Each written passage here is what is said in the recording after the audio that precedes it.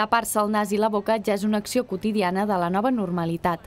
Malgrat tot, hi ha qui encara no s'ha familiaritzat amb la mascareta i es nega a dur-la pel carrer.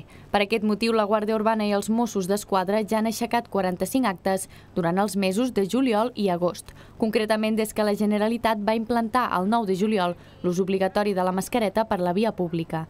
Des de la Regidoria de Seguretat Ciutadana del Consistori asseguren que les actes són justificades i que abans de sancionar sempre informen la persona i li recomanen el seu ús.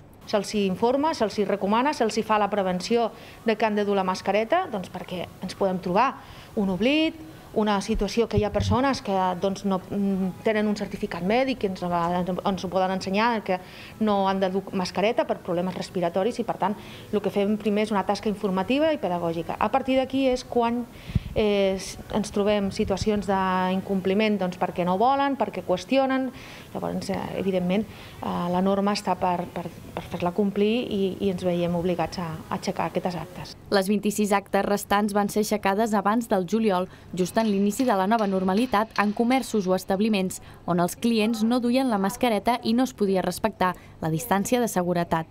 Tot i la setantena d'actes, l'Ajuntament reusenc valora positivament l'actitud de la ciutadania i el seu compromís per fer front a la pandèmia del coronavirus. Està sent positiu i això demostra que la ciutadania doncs, està sent responsable i que al carrer, tret de casos puntuals i la casuística que no ens que ens obliga no, a, a fer aquesta actuació d'aixecament d'acte doncs està sent molt positiva i hem de continuar així.